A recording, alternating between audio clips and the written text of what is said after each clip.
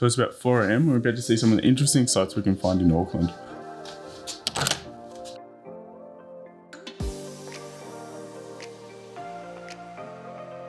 So currently in the International Lounging Contest for this time, it's quite enjoyable. While working on YouTube, before we get onto the flight to New Zealand.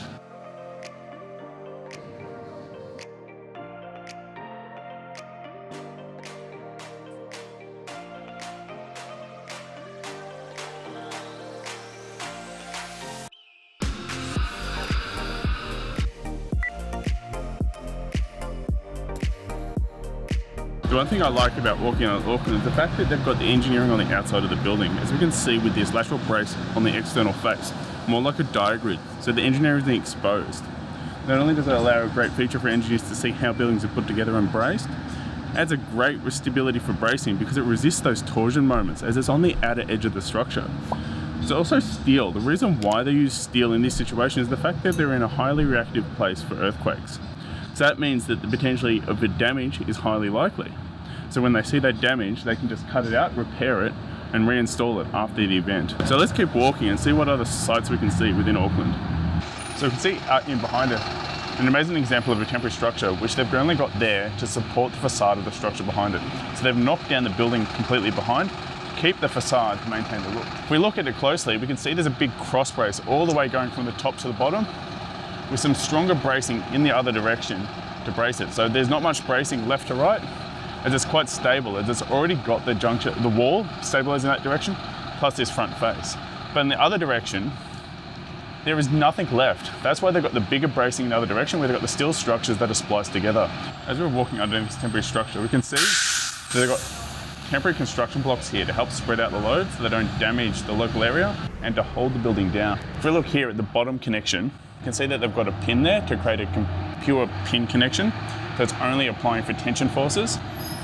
While it's got a splice connection on there to tighten it up, as it's a rod cross bracing, they don't know exactly what the dimensions are going to be, so they can tighten it up as they need to. As I was saying, there's quite a lot of construction work going on throughout all of Auckland.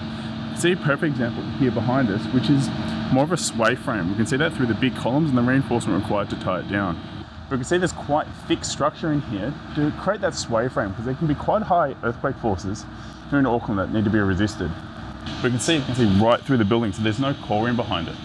So it's been quite impressive, but it does require a lot of structure. We can see that from the reinforcement required at the top of the building and all the way through the size of the structure required to resist those actions. So we can see here at Auckland's Art Gallery, they've got quite an impressive facading behind us. But they've got a huge canopy that's cantilevering a long way. How they've done this, although it looks like timber, they've actually got steel inserts in there. So the columns are steel and the main bracing of the structure is steel. And the timber is just cladding. If we have a closer look, we can see this.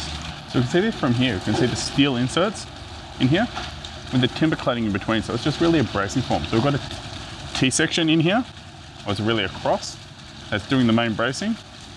Sits down on a bracket on the bottom there and transfers it to the footing structure. And that goes all the way to the top. So the steel's doing the majority of the work and the timber's just a cladding to make, to have it look. But it's probably just four cantilever beams going out in the cross sections in each direction. They're tapered up to the top to create this thin profile, as we can see from the curvature of the junction.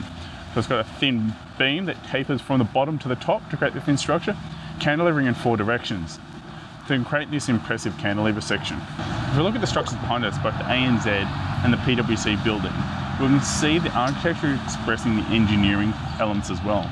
It's got the cross bracing on the outer edge. It provides a quite large bracing frame to stop the torsional forces and also the structural rocking of the building. As the forces are quite high, a lot of the time they're integrating the engineering elements with the architectural features, allowing you to see how the building is braced and where the loads are going. This is what makes it quite impressive about traveling through Auckland and looking how the buildings are put together so you can see where the structural framing actually is, especially as an engineer. This brings us perfectly into the sponsor of this video, Skillshare. If you're just looking to start out learning a new skill, Skillshare is really the place to be. It has a wide variety of premium content. Skillshare has an amazing online community with thousands of premium classes that is delivered to you ad-free. Whether you're looking for that career move or just leveling up your skills, there's a variety of content there for you. For example, if you're looking to improve those communication skills, which is arguably one of your most important assets, or if you're looking for more harder skills, such as programming languages, or if you're just looking to move into the creative space, has a great variety of content. First 1,000 people to use the link in my description box, or the code Brendan Hasty 05221 will get a one month free trial on Skillshare. Hope to see you over there. Now let's get back to the content. So we have this unique bridge behind us that is both operable and a cable stay bridge at the same time. So it's both functional and practical in its design. So cable stay bridges are typically quite efficient as they're utilizing steel where it's most effective in its tension actions, then using normally a slab or other formats to use those compression forces. As we can see behind us, the bridge operates by pulling up the cable. So the cable retracts, allowing the bridge to arch up, allowing boats to come through while still operating as a bridge most of the time when it's not needing to be in this form. As we can see, it's both functional and practical through the cable stays, allowing it to pull it up with minimal effort. So when you're looking at engineering structures, just don't focus on the things that you're typically designing, but maybe even look at other such things as bridges or other elements, as they will give you insight into how you can effectively do this as well. Another thing you might not think about is boats. Boats are also a perfect example of how cable stays work. As we can see, it's got big tension cables all the way up for the big forces from the wind that it needs to resist. So we can see where all the cables come down for those tension forces to help restrain the mast of the boat.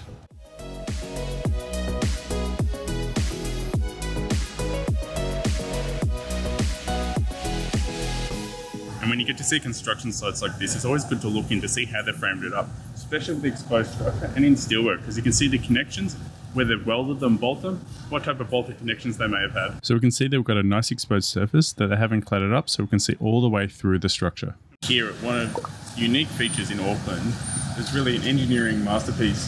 The size of the tower that they've built under the conditions they need to design for.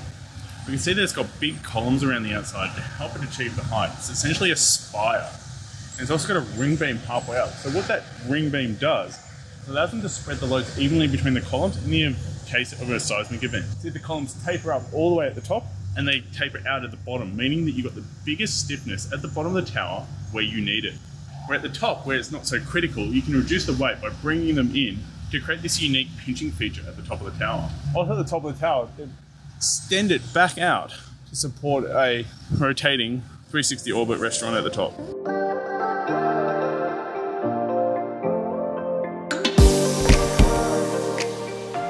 What a day. So I actually got to Sky Tower a little bit late, so it was actually closed before we got in there. So that is really an impressive feat of engineering. If you're interested in another feat of engineering, I've got a link to the video about Melbourne University, which has a unique car park that every engineer should have a look at. And if you're interested in supporting the channel further, I've got links to my Patreon in the below description. Much like these many members here, without their support or the support of my YouTube members, this type of content would not be possible. And as always, stay safe, keep learning, and I'll see you next week. Bye.